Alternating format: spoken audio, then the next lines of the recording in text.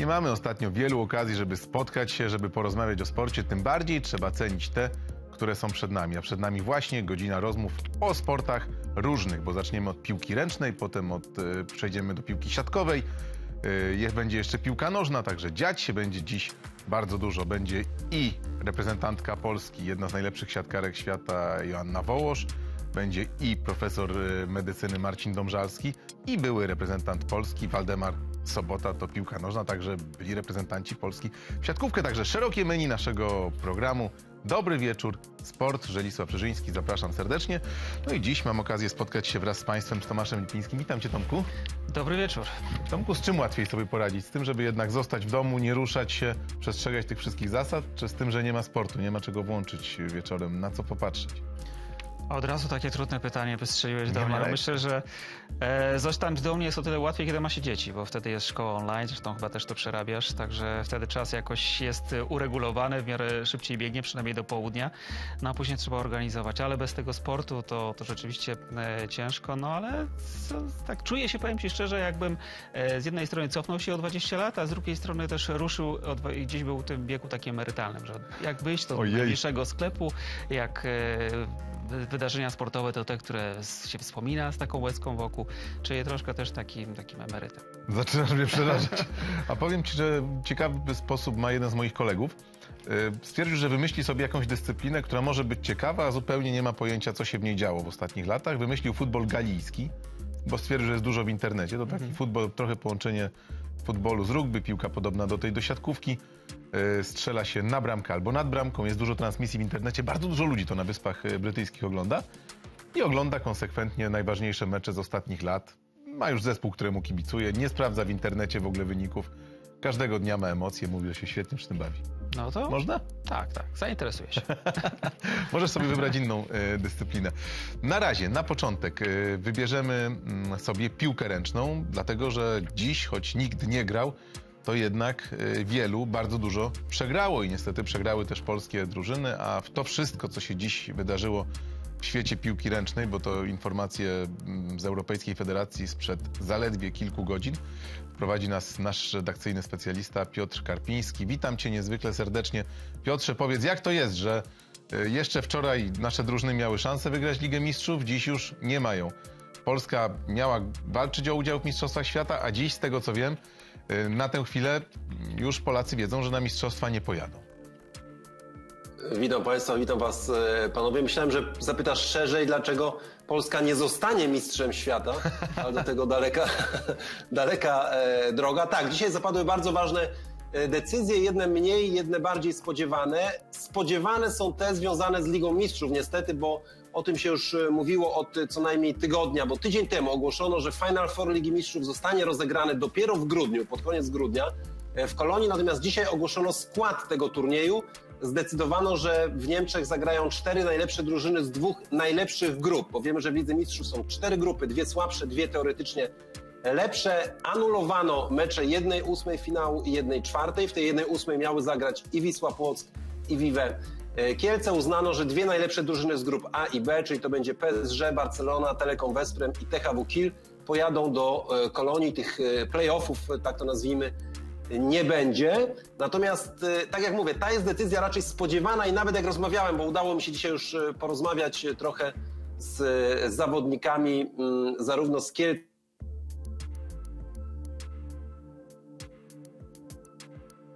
No, udało się e, Piotrowi porozmawiać. Miejmy nadzieję, że nam też się uda porozmawiać jeszcze z Piotrem. No, takie, tak, tak, takie uroki i, i niestety niedoskonałości w czasach, Tak, tak. w czasach pandemii. Czyli nie zawsze ten e, Skype wydaje się, że jest e, takim, e, takim, taką receptą najlepszą na, na przyszłość, że jednak lepiej spotkać się w cztery oczy, no ale nic, miejmy nadzieję, że rzeczywiście Karpiu będzie mógł dokończyć to, co zaczął, bo, bo w piłce ręcznej rzeczywiście zdarzyły się rzeczy takie no, ciekawe, jeśli mamy kończyć ten sezon dopiero w grudniu i też ciekaw jestem, jak to będzie też z tą piłką kopaną, bo też cały czas są przesuwane te terminy meczów finałowych, jeśli chodzi o Ligę Europejską, Ligę Mistrzów. A Liga Europy przecież finał w Gdańsku, zaplanowany, Początkowo, zaplanowany początkowo na czerwiec, teraz na, li, na maj, a teraz już wygląda z na to, siatkówką to, to, już klamka to sierpień. Z siatkówką zapadła. klamka zapadła, zaraz o tym porozmawiamy, ale teraz mamy szansę jeszcze wrócić do Piotra Karpińskiego. docenimy te spotkania twarzą w twarz, będzie trzeba częściej widywać, a teraz Piotrze masz jeszcze czas, e, żeby nam wyjaśnić, jakie to będą składy, no i dlaczego Polska nie zostanie mistrzem świata, masz to pytanie. Okej, okay. czyli rozumiem, że wszystko, co powiedziałem o Lidze Mistrzów y, było na antenie, tak? Bo nie wiem, w którym momencie nam przerwano. Tak więc tak. jeśli te wiadomości z Ligą Mistrzów były, mówię, zawodnicy jakoś to akceptują, natomiast y, dziwna jest ta decyzja związana z eliminacjami do Mistrzostw Świata, bo one zostały anulowane. Polacy mieli zagrać dwumecz z Litwą, później mieli ewentualnie, jeśli przejdą Litwinów, zagrać z Białorusią i później ewentualnie na Mistrzostwach Świata. Zdecydowano, tych eliminacji nie będzie, nie ma kiedy ich rozegrać, a na Mistrzostwa Świata z Europy pojadą czołowe drużyny ostatnich Mistrzostw Europy. Na tych mistrzostwach Polacy zajęli odległe 21 miejsce, dlatego e, do tego składu się nie załapali. Jest to o tyle smutna wiadomość, że być może na mistrzostwach Polacy za wiele by nie zdziałali, to jednak jest to nowa drużyna, mamy nowego trenera, on tę drużynę dopiero buduje i to była okazja, żeby po prostu e, szlifować formę, zgrywać tę drużynę. Natomiast niestety tych meczów o stawkę w tym roku Polacy nie zagrają, na Mistrzostwa Świata nie pojadą, po cichu liczą na dziką kartę, ale to jest widzi mi się organizatorów, widzi mi się e, IHF-u i NATO, e, no to jest kwestia cudu, czy ta dzika karta zostanie przyznana, czy nie. Niestety, na dzień dzisiejszy Polacy nie jadą na Mistrzostwa Świata. Jedyna dobra wiadomość dzisiaj jest taka, że Polki pojadą na Mistrzostwa Europy. Eliminację też anulowano, ale Polki były wysoko w swojej grupie i na turniej, który w grudniu odbędzie się w Danii, w Norwegii, nasze dziewczyny jako reprezentacja pojadą.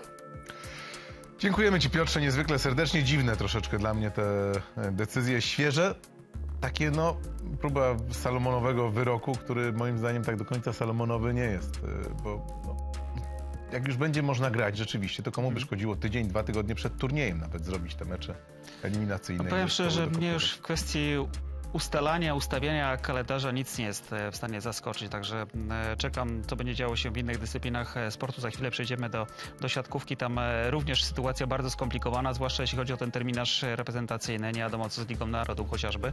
Wiadomo, że olimpiada już została przesunięta, że rozgrywki pucharowe już zostały zawieszone, zatem każda dyscyplina sportu po prostu z tym się musi zmierzyć. Zapraszamy też Państwa, żeby z nami rozmawiać. Dziś dobry wieczór sport. Będziemy więc rozmawiać także o Ekstraklasie, o Bundeslidze, y, o piłce ręcznej. Proszę dzwonić. Y, numer Państwo mają tutaj y, na swoich ekranach 22 334 60 60, a my też mamy bardzo ciekawy numer prosto do Włoch. Tam jest Joanna Wołosz, nasza reprezentacyjna rozgrywająca, jedna z najlepszych siatkarek świata. Witam Cię, Asiu, bardzo ciepło i niezwykle serdecznie. Cieszę się, że widzę Cię w dobrej formie fizycznej i psychicznej. Powiedz, jak to zdrowie przede wszystkim? No bo wiadomo, że Włochy mm, no, są krajem najciężej dotkniętym w Europie pandemią. Dobry wieczór przede wszystkim. E, dobry wieczór. E, zdrowotnie. Myślę, że e, na szczęście ja i cały zespół mamy się dobrze. Jesteśmy zamknięte w jednym budynku praktycznie, każdy, w jednym budynku, każdy ma swój, swój apartament, także ten czas jakoś w miarę e, leci e, przyjemnie, bo możemy się spotykać, bo nie mamy kontaktu z, z innymi ludźmi.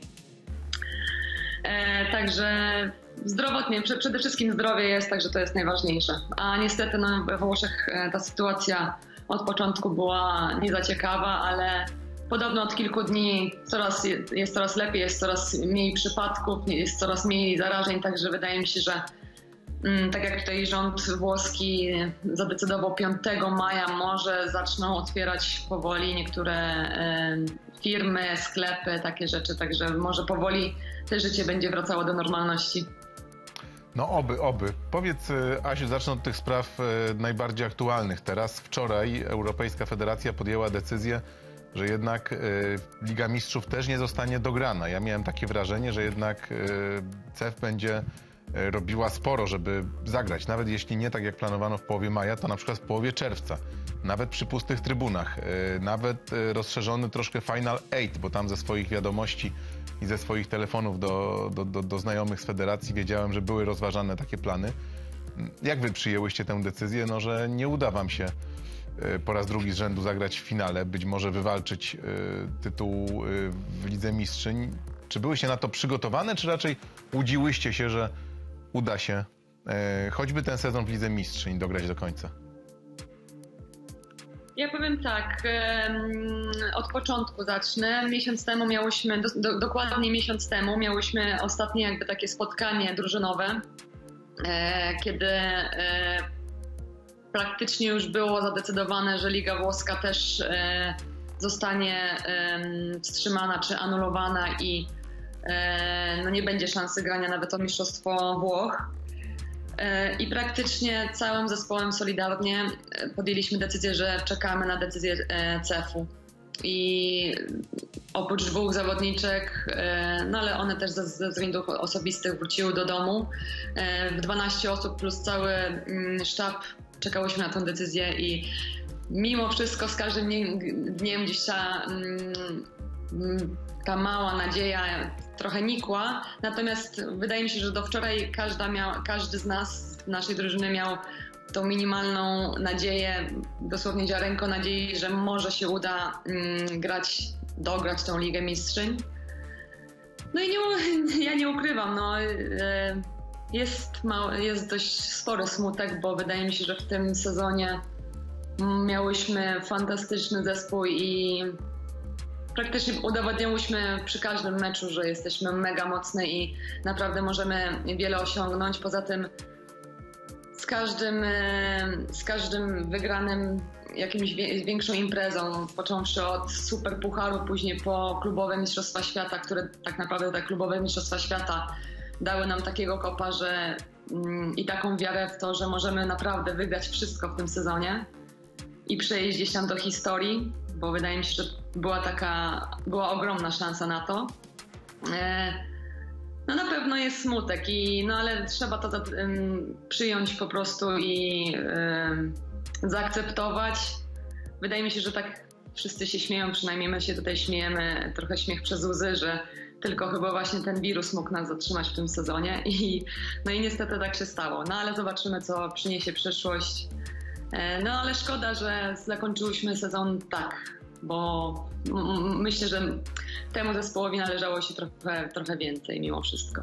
No szkoda, szkoda, zwłaszcza, że no, ten apetyt rośnie w miarę jedzenia. Jeśli klubowa mistrzyni świata, no, zawodniczka, która z, rzeczywiście z koleżankami w tym sezonie wygrywała wszystko, mówi, że nadal mało, to, to Sky is the limit. Też wszyscy tutaj stawialiśmy zdecydowanie na was y, w Lidze Mistrzyń. Być może Turczynki mogły was, mogły was powstrzymać, ale nie doczekaliśmy się tych meczów. Powiedz, co dalej, Jasiu, teraz? Czy zostajesz we Włoszech? Też prasa włoska roz, rozpisuje się już troszkę o Mercato. Czytałem nawet taki artykuł Kręgosłup Corneliano, czy zostanie. No i pierwsze nazwisko oczywiście pada Wołosz, potem Egonu, Sylla. No jak jesteście wszystkie razem, to, to rozmawiacie, czy ten zespół uda się utrzymać na następny na następny sezon. I co teraz, i co teraz robić? Bo w takiej sytuacji też chyba dawno nie byłaś, no że w ogóle nie wiadomo, co, co robić i, i do kiedy, prawda? To też nowa rzecz w życiu sportowca. No tak, właśnie dzisiaj też oficjalnie e, miałyśmy ostatnie też e, jakby spotkanie kończące ten sezon. Oczywiście w odstępach metrowych każdy, e, każdy stał. I oficjalnie też w sumie zakończyliśmy ten sezon, bo to już jest koniec i na dobrą sprawę każdy jest teraz e, wolny, żeby wyjechać do domu. Jeżeli chodzi o przyszłość, o przyszły sezon, przyszłe sezony, to niestety nie mogę nic mówić, ale wydaje mi się, że w niedalekiej przyszłości e, będzie wszystko e, powiedziane. No zobaczymy. No, nie mogę nic powiedzieć. No, chciałabym, ale nie mogę. No, muszę być też lojalna wobec wszystkich i e, no zobaczymy. No, no, teraz trzeba e, myśleć tylko o tym, żeby ta sytuacja, ten wirus w końcu gdzieś e, uciekł i już nie, więcej nie wracał. E, żeby wszyscy byli zdrowi, żeby przede wszystkim wystartował, wystartował też przyszły sezon, bo to też niektóre ligi mogą mieć problem, albo niektóre kluby, także żeby wszystko wróciło powiedzmy do, do tego standardu, który powiedzmy był. Będzie ciężko, ale myślę, że damy radę wszyscy, cały ten siatkarski świat. No, wszyscy musimy dać radę. Dziękujemy Ci bardzo, Asiu, za dzisiejsze spotkanie. Mamy jeszcze małą niespodziankę, bo w naszym studio też wirtualnie, tyle że z Łodzi będzie człowiek, który pewnie chciałby Ci zadać kilka pytań do, do swojego raportu, e, raportu medycznego. E, profesor Marcin Domżalski, e, Sporto Łódź, już jest obecny. Zdziwiona? Witam panie doktorze. Panie doktorze, e, jest pan informowany na bieżąco o stanie zdrowia Asi, czy teraz e, możemy się jeszcze czegoś dowiedzieć? No, Asia dzisiaj dostała dwa maile ode mnie właśnie z pytaniami między innymi o, między Zdziwiona. innymi o COVID. E, Spójrz, e, zerknij w skrzynkę Asia, bo to jest... Monitorujemy teraz, e, właśnie zadajemy pytania odnośnie e, jak gdyby e, reakcji na COVID, czy, czy jest zagrożenie, czy nie ma zagrożenia. Dotyczy to wszystkich zawodników, również pracowników związanych z, z kadrą, także to jest taka nasza inicjatywa dzisiejsza. To Asiu, odpowiesz, roz- rozumiem, panu, panu profesorowi? No to teraz już tak, teraz już nie, szczerze przy, przyznam, że sprawdzałam pocztę, ale nic nie przyszło, także może muszę spoj- spojrzeć w zakładkę inne albo jakieś spamowe. Tak jest. Doktor No. spamy, broszury medyczne powysyłał, także muszę to sprawdzić. Okej, odpowiem doktorze, odpowiem. No, to trzymamy, to trzymamy za słowo. Asiu, zdrowia, życzymy też uśmiechu, dużo yy, no, pogody ducha, przede wszystkim powrotu do normalnej siatkówki, bo pewnie nie możesz się doczekać. Także dziękujemy Ci serdecznie. A pana profesora chcielibyśmy jeszcze troszeczkę pomęczyć, yy, bo mm, pan profesor zajmował się, no powiedzmy naj, najprościej, żeby też każdy yy, zrozumiał, kończynami. Kończynami wielu polskich y, sportowców, siatkarzy, siatkarek, piłkarzy, bo był pan doktor też y, trenerem, trenerem, lekarzem, y, lekarzem Widzewa i, jak, jak, jak pan patrzy na to wszystko, co się teraz dzieje, jak trudno będzie y, sportowcom wrócić do normalnego teraz reżimu treningowego i jak wiele będą potrzebowali czasu, żeby do minimum ograniczyć y, prawdopodobieństwo szybkiego spotkania y, z panem y, profesorem podczas y, wizyty konsultacyjnej. E, Tutaj jeszcze nawiążę do tego, że jestem trenerem. Rzeczywiście dużo, wielu zawod, zawodników myli mnie i mówi do mnie trenerze. Natomiast ja zawsze od samego początku e, współpracy z każdym trenerem e, zawierałem taki układ, że to trenerzy zresztą mówili, doktorze, ty nam nie będziesz mówił, kto gra na lewej pomocy, a my ci nie będziemy mówić, jak masz leczyć. I to jest taka najlepszy rozdział rozdział między medycyną a, a, a tre, zawodem trenera, natomiast no, bycie w klubie czy tutaj w reprezentacji e, jest nierozerwalne, związane, że, że ta współpraca z trenerem musi być. E, Trudno jest bardzo odpowiedzieć na pytanie tutaj zadane, jak, e, jak ta cała kwarantanna i ten problem z pandemią wpływa na treningi.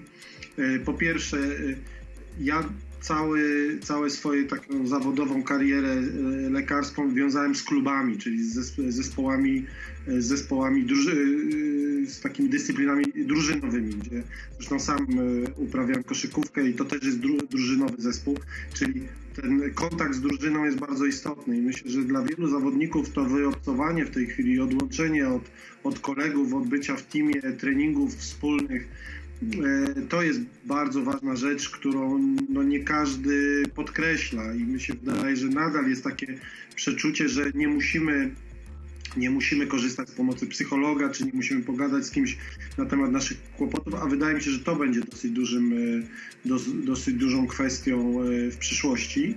E, Inna rzecz to jest, jak rozplanować sobie obciążenie treningowe, skoro kompletnie nie wiemy w tej chwili, kiedy mamy wrócić prawda? Wiemy, że wiemy, że y, cała, e, cały sport y, mm, funkcjonuje w pewnych cyklach treningowych. E, Chociażby no teraz e, cykl treningowy pod olimpiadę został przesunięty o rok. I to nie jest, to nie jest, to zaburza na pewno. Mm, Prawdopodobnie sztaby w tej chwili pracują fizjologów i trenerów przygotowania nad tym, jak to ustawić. A jeszcze inną kwestią jest, jak e, wzmożony wysiłek fizyczny, czyli takie trenowanie, pamiętajmy, że sport profesjonalny jest to cały czas balansowanie na granicy absolutnego wysiłku, takiego maksymalnego wysiłku fizycznego, jak taki maksymalny wysiłek fizyczny e, wpływa na, e, na nasz organizm w, w, w aspekcie tego wirusa. Tego zupełnie nie wiemy i tu my się tego dowiemy chyba dopiero za rok albo za dwa lata. To to są wieloczynnikowy problem. No to są bardzo złożone problemy. A pan jak jako fachowiec, y, panie profesorze, patrzy na te plany powrotu y, piłkarzy ekstraklasy na boisko? No wiemy, co donoszą, co donoszą media o tym, co, jakie są plany w Bundeslidze też u nas. Myślę, że ta dezynfekcja piłek y, dwa razy w połowie to, to raczej jest coś bez sensu. Podobnie jak bieganie, bieganie sędziów w maskach, ale chciałbym zapytać pana jako, jako lekarza, jak pan to widzi, ten ewentualny powrót piłkarzy do grania? No to owijmy piłkę jeszcze folią jeszcze dodatkowo.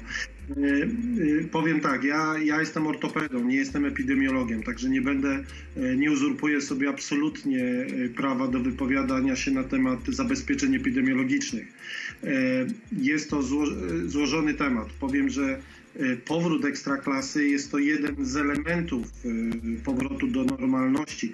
W tej chwili jest godzina 20, 20 z hakiem.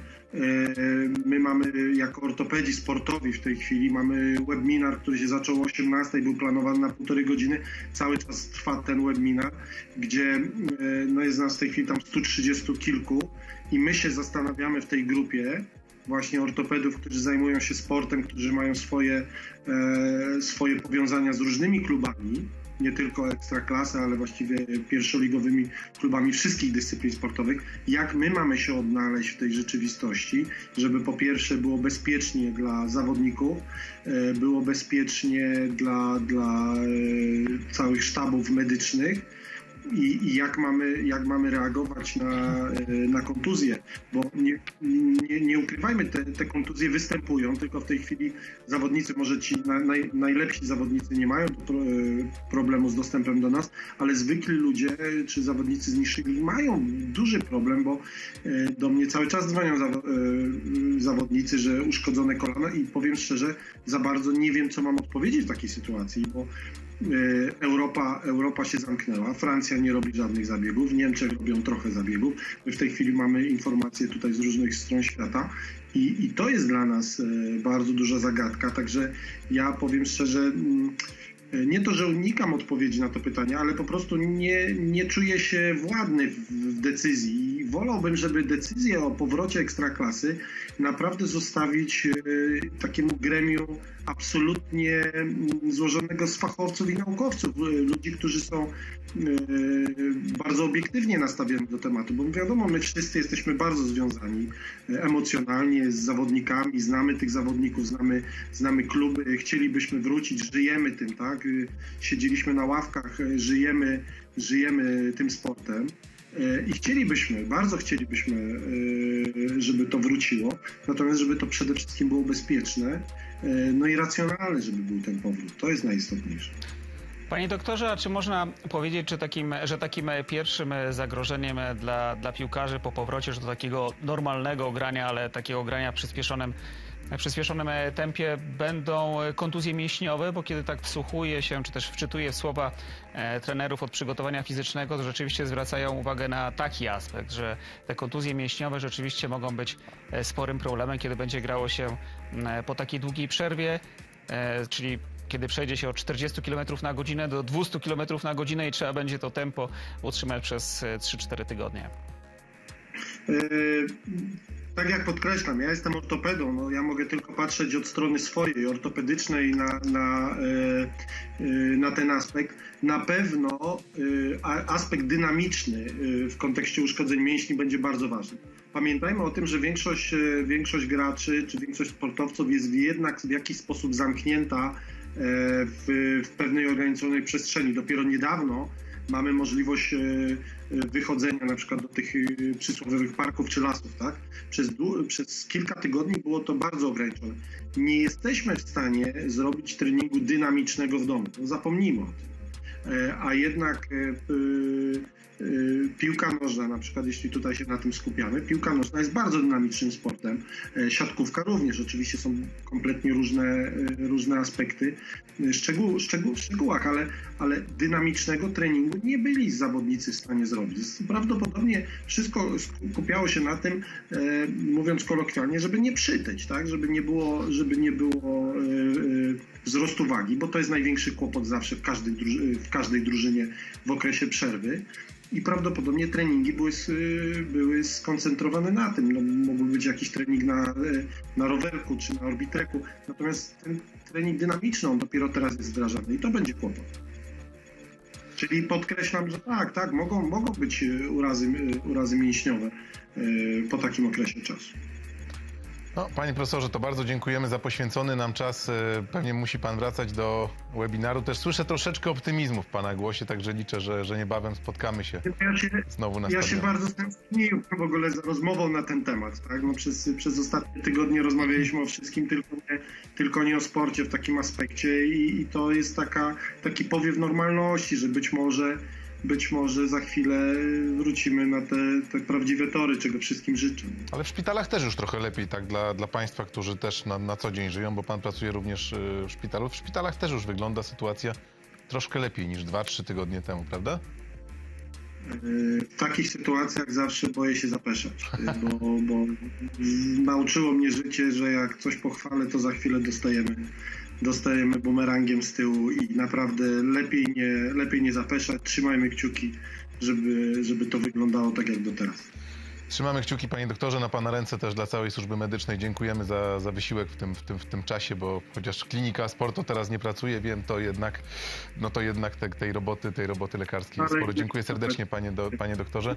Y, Tomku, kolejne, kolejne ciekawe spojrzenie na to, co nas czeka, jak tu wrócić, bo dużo rozmawiamy, mam wrażenie, o takich sprawach mniej istotnych w ekstraklasie, ale teraz to dobry specjalista przygotowania fizycznego, dobry ortopeda, dobry lekarz w sztabie, to na wagę złota.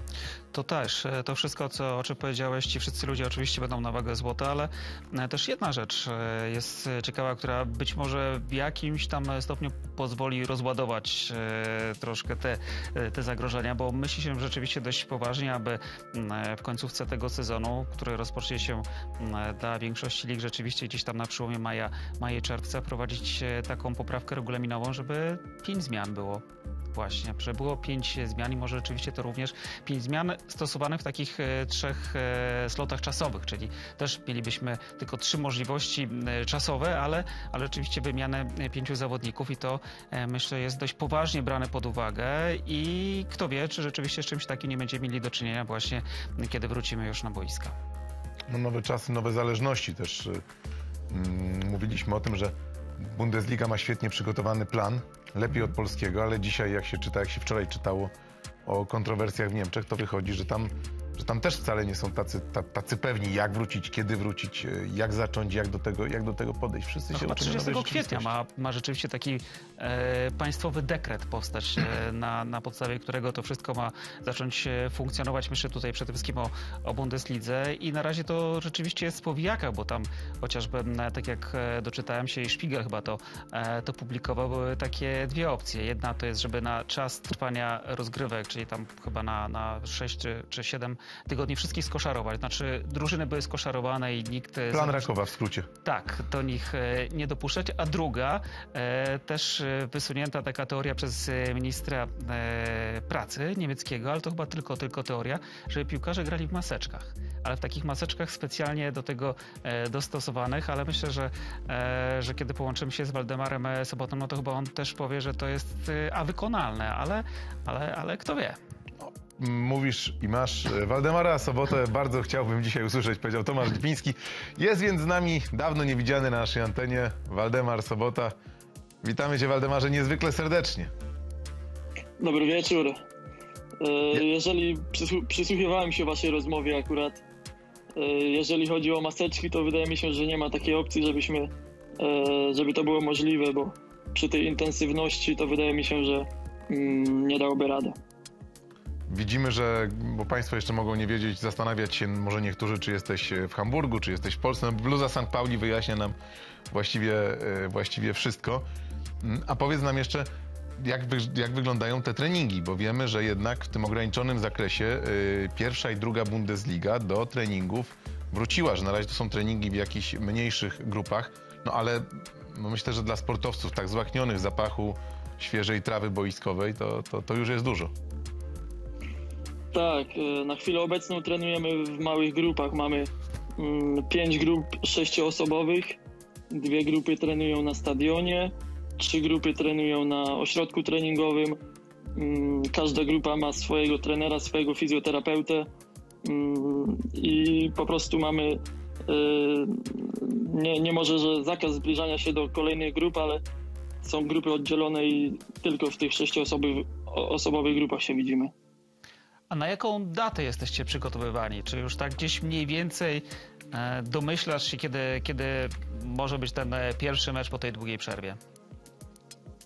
Sytuacja jest dynamiczna. Z ostatnich informa- informacji, które do nas docierają, yy, czekamy na sporządzenie rządu niemieckiego, które ma się odbyć 30 yy, kwietnia, czyli w czwartek.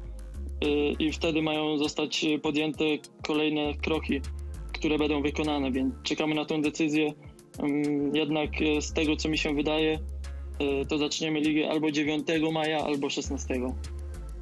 Czyli to już są takie bardzo, bardzo konkretne terminy. No my bardzo uważnie to śledzimy, bo mm, daje się chyba odczuć też to, że, że Niemcy czują, że, że, właściwie cały no, ten zachodni świat piłkarski patrzy na nich, bo jak tam się uda, to gdzie indziej też się może udać. Jak tam się nie uda, to obawiam się, że może być mało śmiałków, żeby, żeby spróbować pójść w ślady Bundesligi. Czujesz troszeczkę ten ciężar odpowiedzialności? To znaczy ciężar nie, ale e, wydaje mi się, że Liga Niemiecka ma to dobrze pod kontrolą. E, Mieliśmy wczoraj robione mm, testy na koronawirusa. E, Wszystkie te mm, zasady, które przestrzegamy, wydaje mi się, że są na dobrym poziomie. I no, czekamy na znowie, wznowienie rozgrywek. Jak rozmawiasz e, z kolegami podczas tych indywidualnych treningów, to dało się wyczuć taką ulgę e, przyjścia na te pierwsze zajęcia indywidualne. No koledzy w Polsce e, nie mają jeszcze takiego komfortu. Tak, jak najbardziej. E, Pierwsze dwa tygodnie po zawieszeniu rozgrywek trenowaliśmy tylko indywidualnie albo w swoich czterech ścianach. E, Od trzech tygodni jesteśmy na boiskach, więc każdy, każdy z zawodników e, cieszył się tym, że może dotknąć piłkę i na pewno sprawiało nam to wielką frajdę.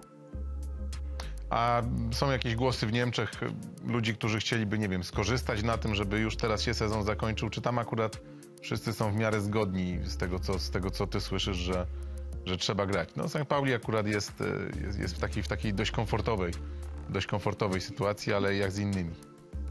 Z ostatnich informacji, które do mnie docierają, e, wszystkie kluby są za tym, żeby mm, sezon dokończyć. E, I wydaje mi się, że do tego będzie, będą wszyscy dążyć.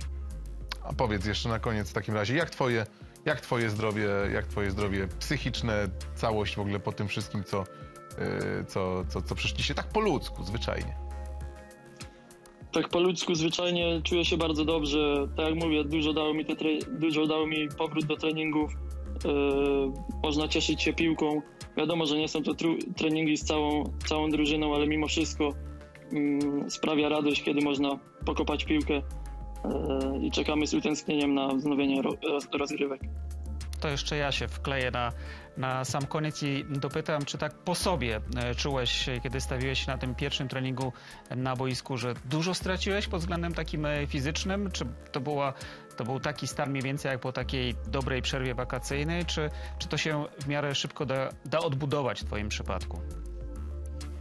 Wiadomo, nie było y, treningów z piłką. Mieliśmy za to indywidualnie dosyć int- intensywne mm, interwały, które musieliśmy sami biegać. Jednak nie ma co porównywać tego z normalnym treningiem na boisku z całą drużyną.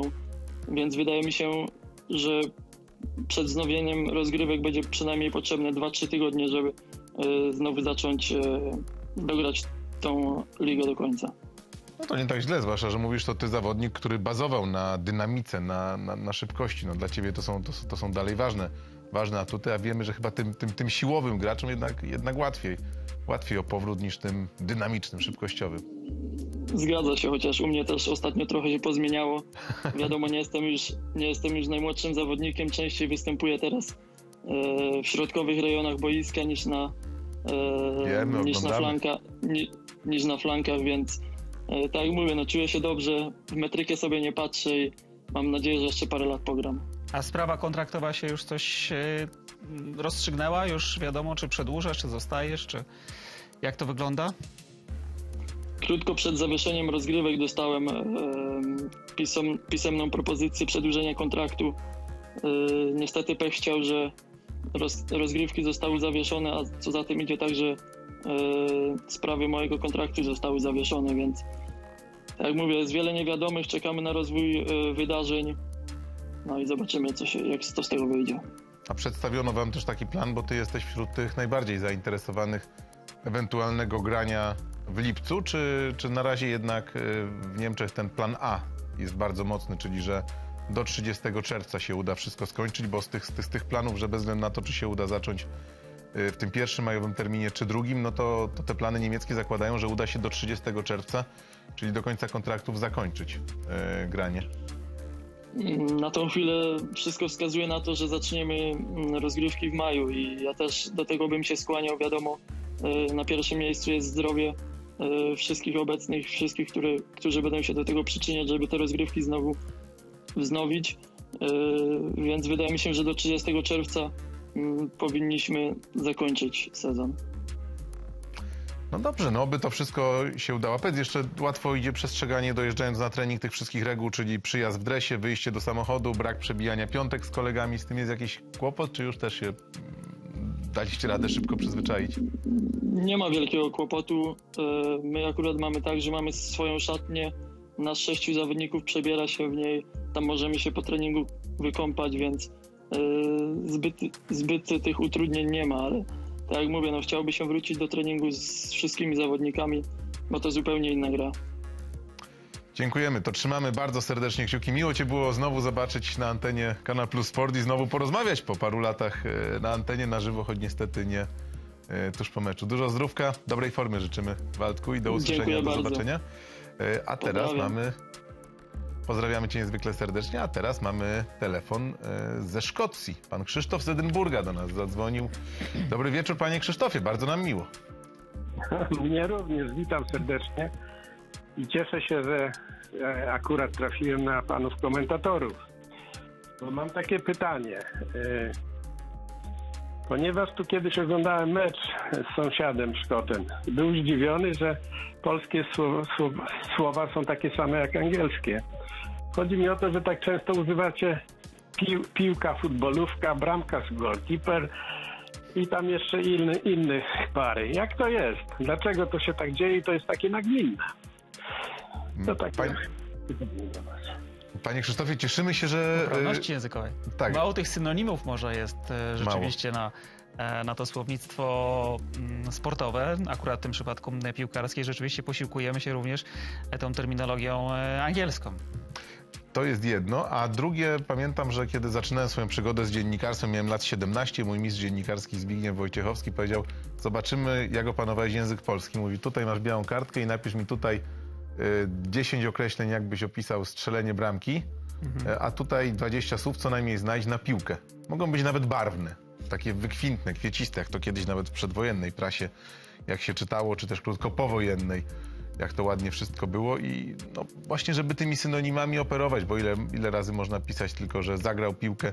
No poza tym czasami się też posiłkujemy, żeby takim językiem czysto piłkarskim, który no, unikamy takiego bardzo, takiego języka bardzo powszechnego, ale no, czasami nie da się opisać akcji, że dośrod... mówimy dośrodkował.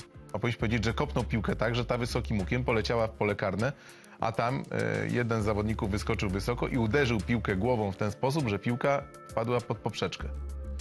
I, i, to jest bardzo trudne, panie Krzysztofie. Natomiast bardzo się cieszymy, że z sąsiadami Szkotami ogląda pan polską ekstraklasę. Jeśli pan jeszcze jest na łączach, to cieka...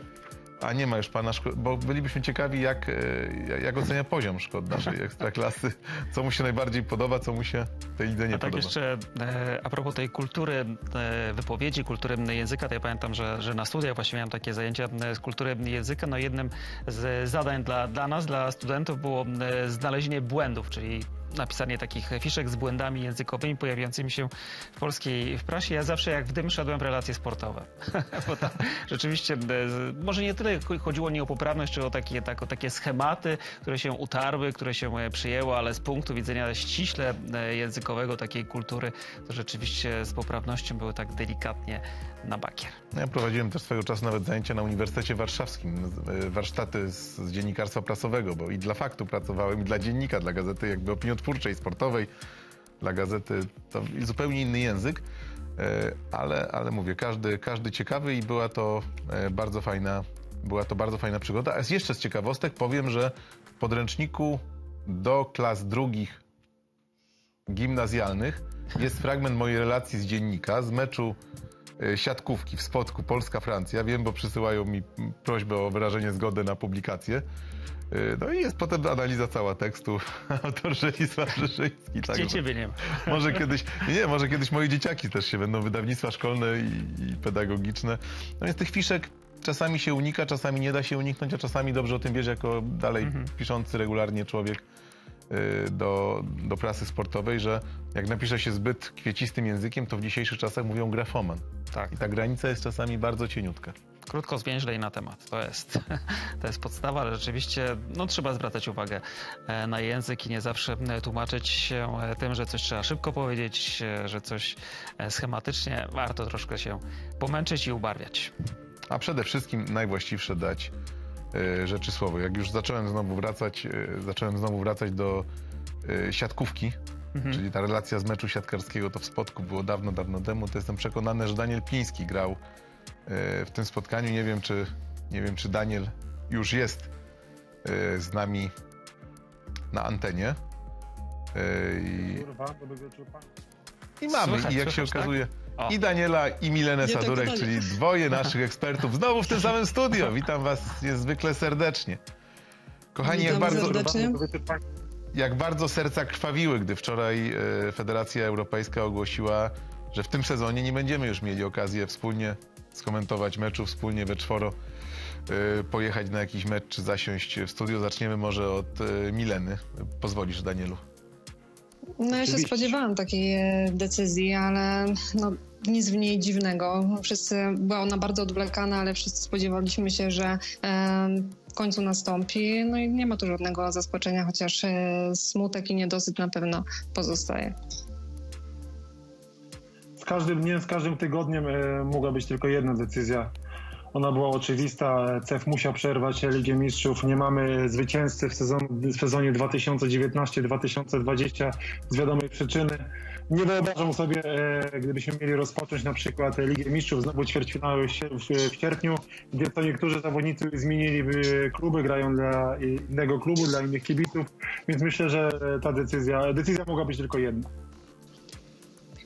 Ale, patrz, ale patrzcie, na przykład, na przykład Liga Piłka, e, Liga Mistrzów w piłce ręcznej zaplanowali jednak na grudzień finał, a w, mm, siatkówce byłoby prościej, bo tych drużyn zostało mniej. No ja wam powiem, e, Mileno, że ja się jednak troszkę, troszkę łudziłem i jak dzisiaj rozmawialiśmy z Asią Wołosz, to widać, że tam też był ten smutek duży, że jednak wierzyły te dziewczyny, że uda się no, ten świetny dla Corneliano sezon jakoś, e, jakoś, jako, jakoś dokończyć, żeby choćby pokazać zwycięstwo nad koronawirusem.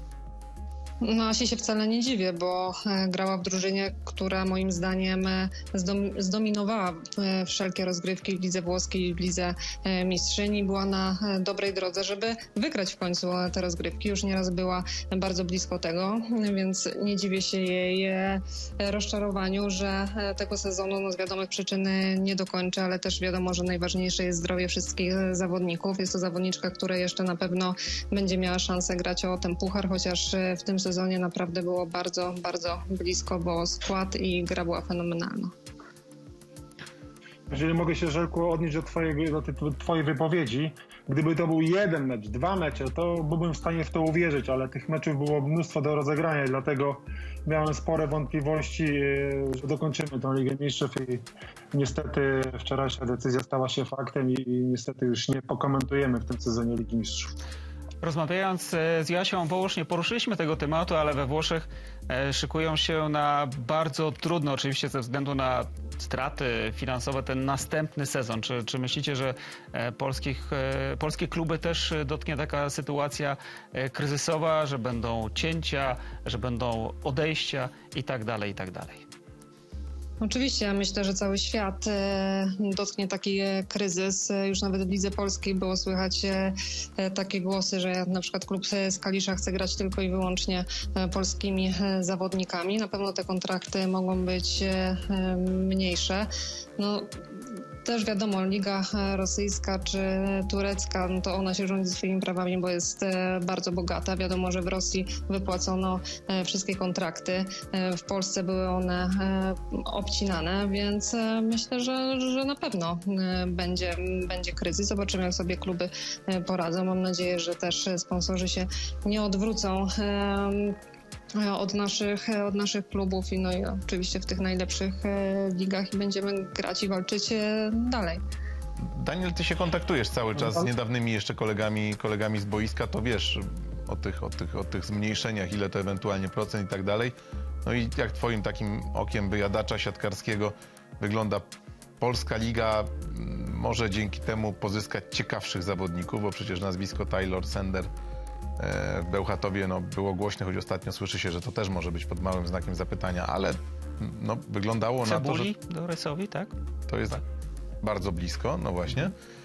E, natomiast, e, natomiast to po pierwsze, czy, czy raczej zyskamy, czy stracimy w porównaniu no, przede wszystkim do Włoch, bo u nas jednak państwowe firmy inwestują, a tam, a tam prywatne przede wszystkim nastały ciężkie czasy i, i, myślę, że wszystkie kluby, wszyscy prezesi dogadują się z zawodnikami i z tego, co się orientuje, e, obcinka kontraktów nastąpi, obniżenie kontraktów nastąpi, co niektórzy 13,5%, co niektórzy 15%, co niektórzy 20%.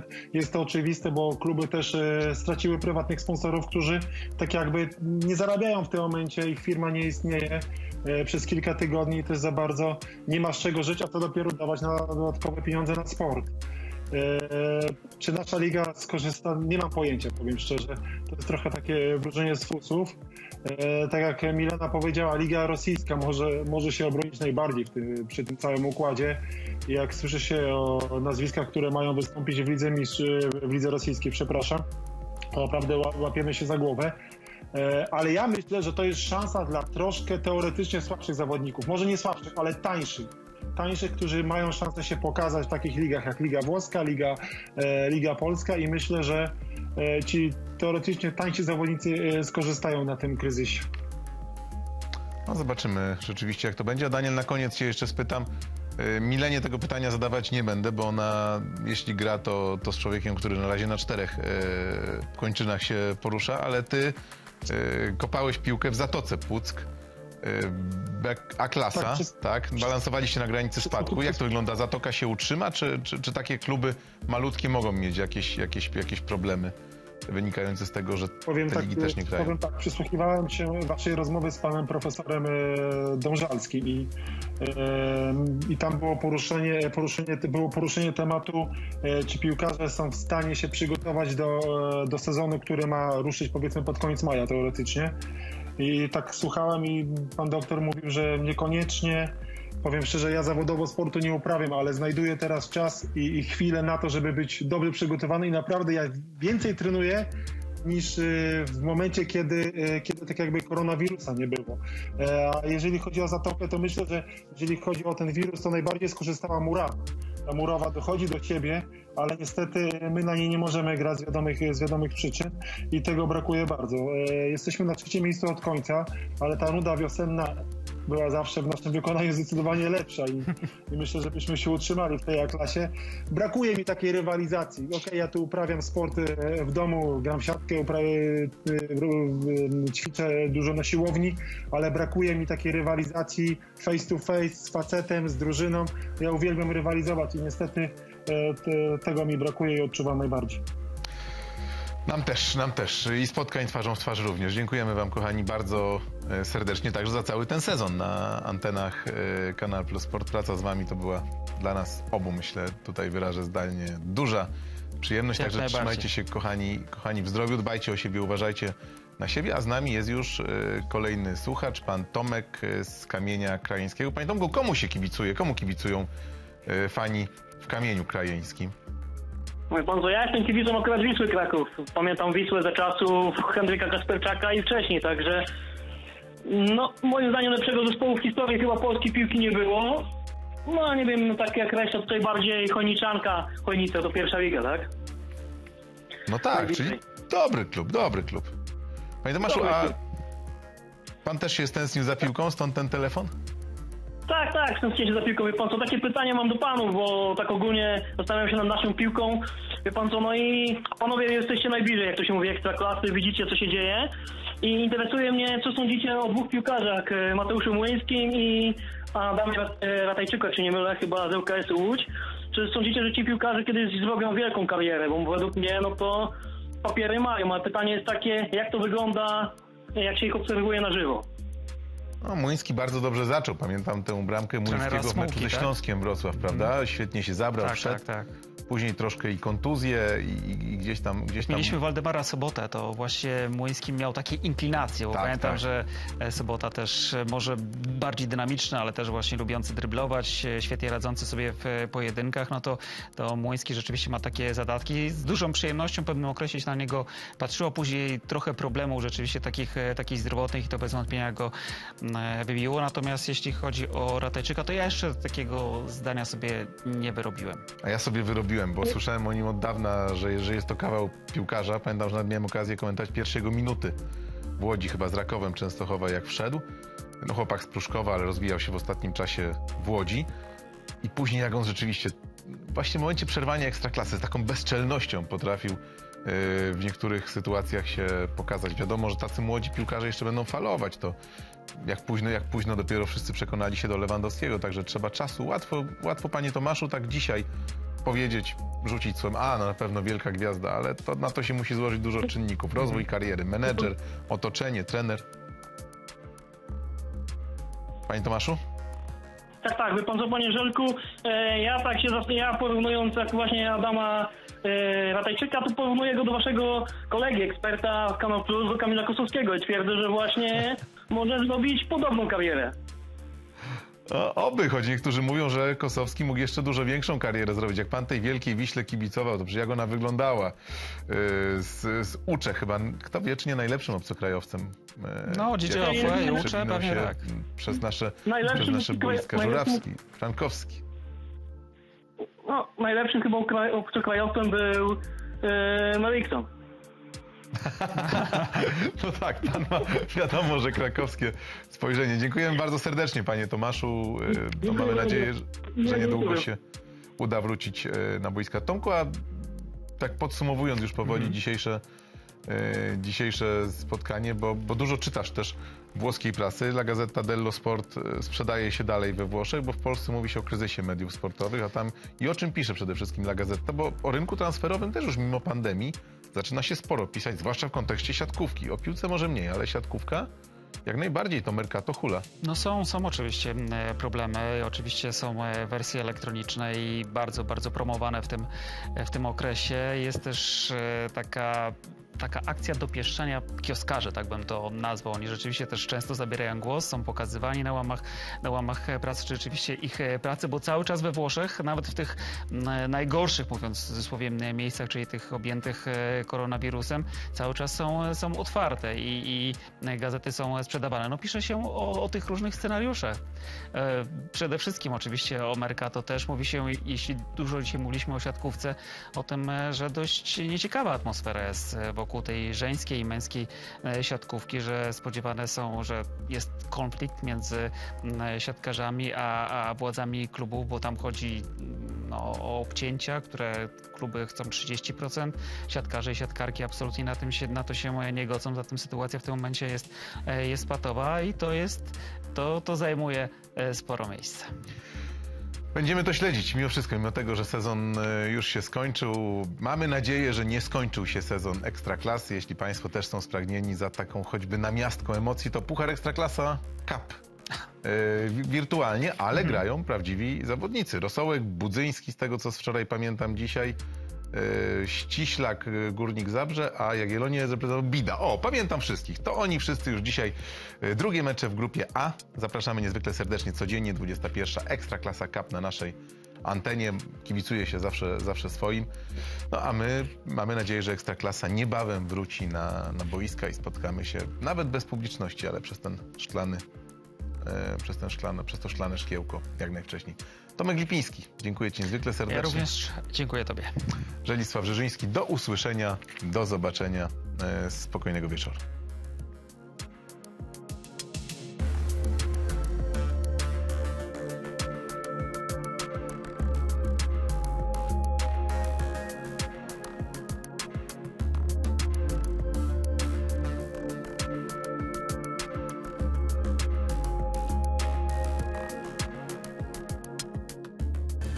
Witajcie, nazywam się Mariusz Grzyński, wspólnie poćwiczymy, wcześniej przewietrzcie pomieszczenie i zróbmy rozgrzewkę.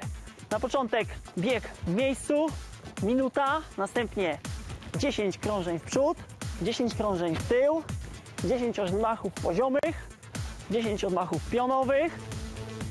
Powtórzmy to trzykrotnie, następnie krążenia tułowia, 5 w jedną, 5 w drugą, to samo krążenia bioder i podskoki ze skrętem tułowia, rozgrzewamy staw skokowy i delikatny przysiad. Trzymamy 20 sekund w pozycji. Jesteśmy gotowi, zapraszamy do części głównej. Ćwiczenia na płotkach lekkoatletycznych w domu? Jasne, że się da.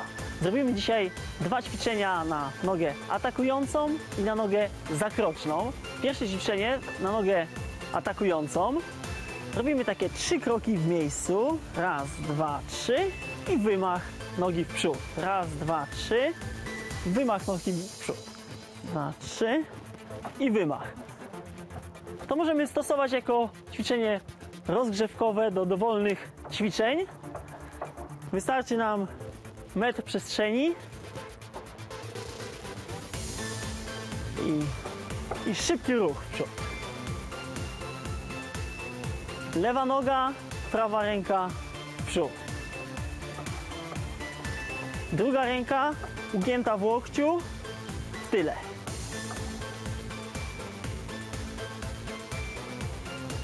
I zrobione.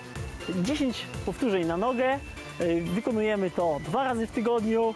Potem łatwiej będzie nam pokonywać płotki na przykład na stadionie lekkoatletycznym, kiedy będziemy już mieli taką możliwość.